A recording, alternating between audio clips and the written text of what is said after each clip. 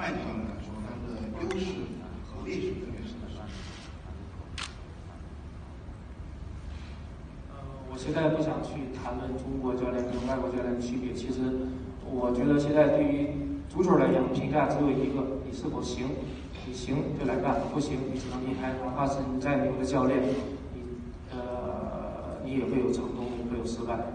然后呢，对于呃，不行。第二个问题是，就这个，您觉得优势和劣势？啊，优势啊，对不起啊，我觉得我对于这批球员，啊，我从一二年到恒大开始，包括到现在，啊，这些国内所有最优秀的球员，我都是非常非常的了解。可以这么说，在中国应该没有一个人比我更了解这批球员，可能这是我的一个优势。谢谢。看视频，上封面。